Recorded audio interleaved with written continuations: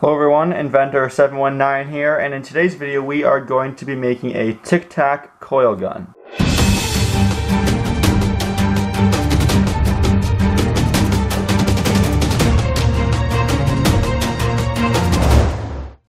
I'm sure you've seen many coil gun videos before, but this will be my first take on one, using a Tic Tac container and making it as compact as possible. If you like the coil gun videos, please let me know. Give me a thumbs up and a subscribe so I can make more in the future. So what you'll need for this project is as follows. You'll need your Tic Tac container. The main component of the coil gun is a circuit board from inside of a disposable camera. Uh, you're going to need a coil of wire you can also make your own by taking something like a pencil um, or a marker and wrapping it in wire. There's tons of videos online on how to do it, but I was lucky enough to find this one here out of um, some type of car part. I can't remember which one. It's almost like the windings of a motor. Uh, and it has a little barrel on the inside so saves yourself a lot of time and that's a very nicely wound coil we also have some tape some wires um, a switch for the trigger, a pen barrel for the tube, a spring also for the barrel, uh, the ammo. Um, I have all these little metal rods. And the tools we will need are a pair of scissors, knife, and a hot glue gun. So the main coil power will be provided by the inside circuit of a disposable camera. As you can see, this is the circuit that controls the flash on the camera. Essentially, what I did was went to a local camera shop and they have all these used cameras that people give them after going on vacation or whatever. So I actually was able to collect, let me show you real quick, this bag of probably 100 cameras. Uh, so I, I can do lots of these projects or sell them, give them away. You let me know what you guys want to see. But anyway, what you do is, as long as it has a flash, you take apart the camera, and really the only thing inside is this sole circuit board. Essentially what it consists of is a big capacitor, a battery, and the flash um, light bulb thing. So this is the button which you usually would push on the front of the camera, and when you do so, the uh, capacitor is charged with the battery, uh, this one here doesn't really say on it, but I've read before that some of them say like 300 volts.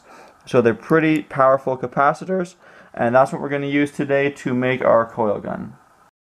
First step is to wire up the circuit board. So I have a few wires here. These have alligator clips on the end, which I like because they make them super easy.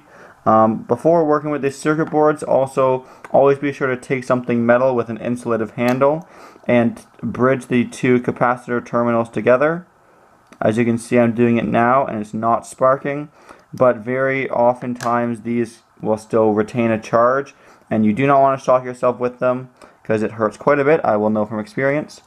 Anyway, so what we're going to be doing is adding some wires to each side of the terminal on the capacitor so I'm going to just clip on the first alligator clip there.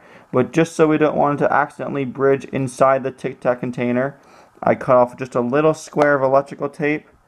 I'm going to put it in between the two posts and wrap it around the little alligator clip just like that.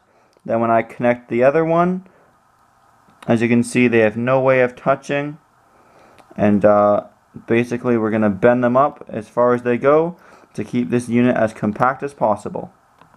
Next up, go ahead and put your unit inside the Tic Tac box. This one here is a large Tic Tac box, the ones with like 100 mints inside. This is also the special edition for breast cancer, which is uh, quite exciting.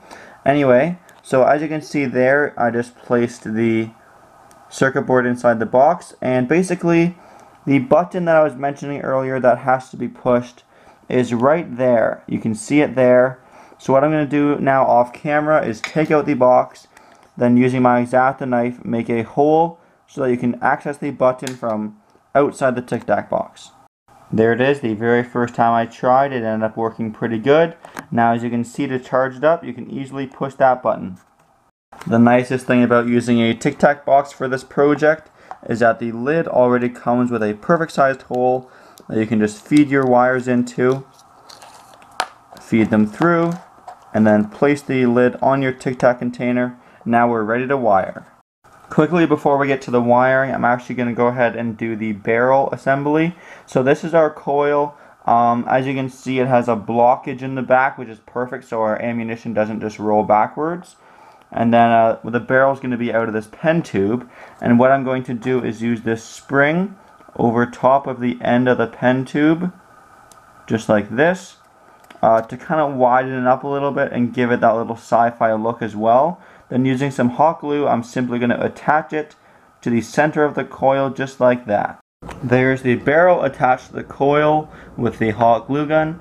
And also I've attached the coil just on top of the Tic Tac container with the uh, prongs for the coil facing the opposite way of the wires so that we have lots of room for wiring, which is our last step of the project.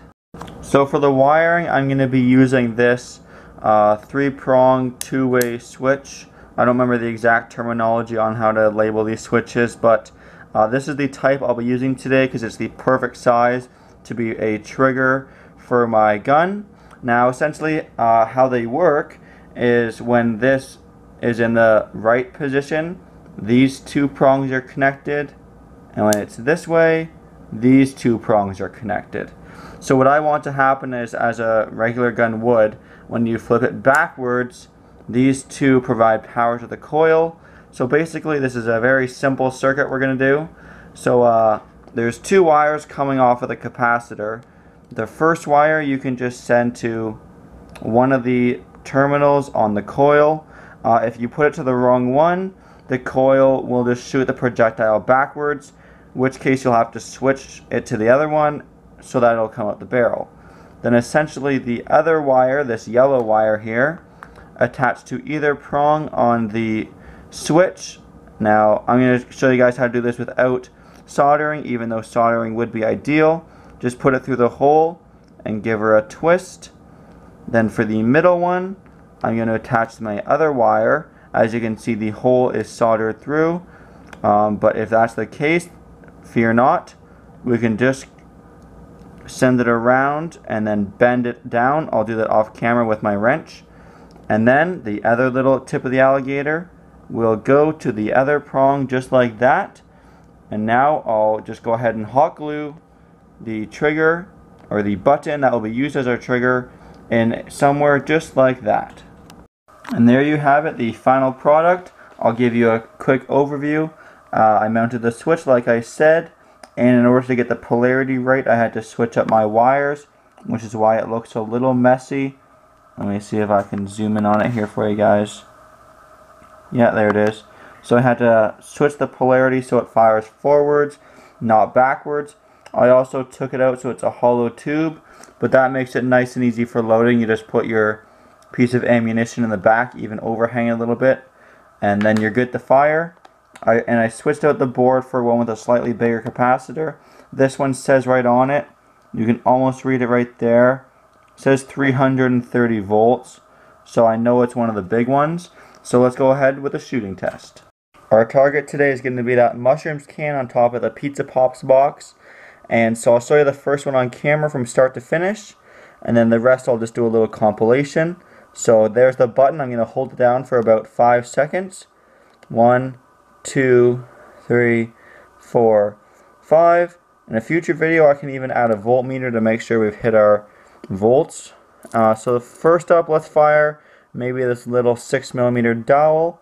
So essentially, you put it just in the end of the coil, then holding it like a real pistol as it should be. Let's go ahead and hit the mushroom can in three, two, one. Alright, that one wasn't the most powerful shot. Let's see if we can get a few more with a bit more volts and different projectiles.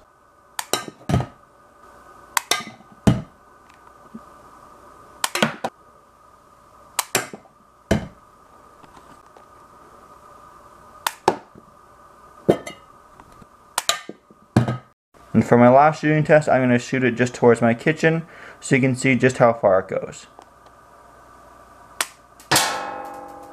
That was probably the most powerful one yet. So after all those shooting tests, I determined that my best piece of ammunition was the densest, so probably the most, the uh, piece that was highest in the iron content um, and also fairly light. Uh, so this like half inch long or 5 8 inch long 6 millimeter dowel seemed to work perfectly. As you see and saw in the last shot there, it got some pretty good speed and distance. So overall, very fun gun. It's uh, actually quite powerful as well. You just have to be very careful not to shock yourself. So there it is. If you like this project and want to see more like it, please hit that like button and also hit that subscribe button right here. And as always, please like, comment, and subscribe. Thanks for watching.